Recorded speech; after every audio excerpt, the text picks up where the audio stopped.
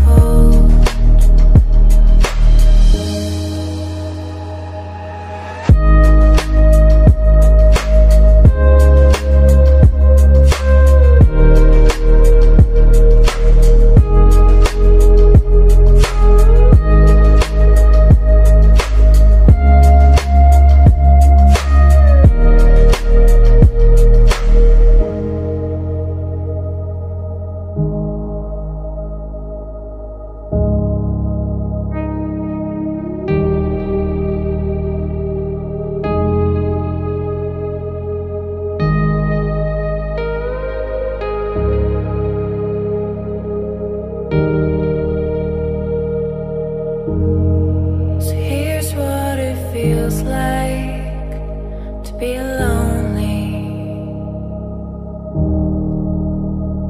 And no, I'm not afraid. I know I will be okay with that.